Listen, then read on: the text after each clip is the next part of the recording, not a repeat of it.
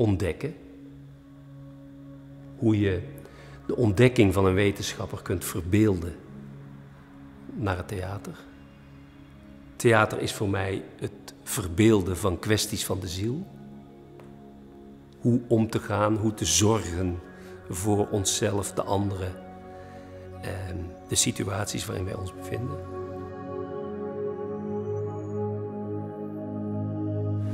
Nou, de meest zichtbare trend is dat er ook binnen het reguliere theater heel veel aandacht is voor wetenschap op het ogenblik.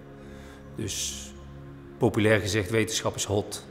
Dat heeft onder andere te maken met, um, denk ik, het, uh, wat wel het Robert Dijkgraaf-effect wordt genoemd. Dat er op een gegeven moment een Nederlandse wetenschapper is die heel goed in staat blijkt om te vertellen wat er in zijn vakgebied en in de wetenschap in, in de brede zin allemaal gaande is. Het heeft denk ik ook te maken met de nieuwsgierigheid van mensen die een beetje is verschoven van actualiteit, economie, politiek naar een wereld die op een andere manier aantrekkelijk blijkt te zijn.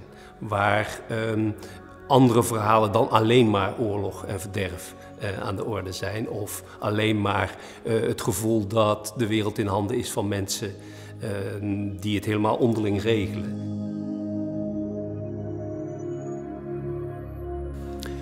Ik zou hopen dat de rol van het theater in de toekomst vooral de rol van het theater is uit het verleden.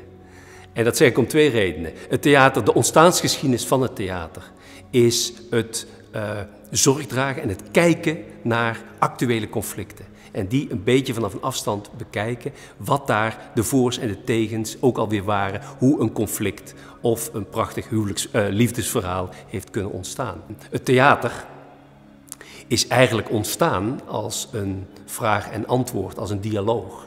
Als het onderzoeken van conflict situaties in het nu. Eh, wat doen we? Wat zou jij doen? Wat zou ik doen op het moment dat uh, een moeder haar kinderen vermoordt? Wat vinden we daarvan? Wat zou jij doen? Wat zou ik doen als ik verliefd word op een meisje of een jongen uh, waar ik eigenlijk niet verliefd op mag worden, omdat ze van een, aan de andere kant van de grens zijn of van een andere cultuur of familie? Um, wat doen we als we ineens plotseling worden geconfronteerd met de dood? Uh, met een ruzie met een goede vriend of vriendin. En, en die conflicten en hoe we ons dan als mens met dat wat we zijn en hebben toe moeten verhouden, dat is een essentie voor het theater.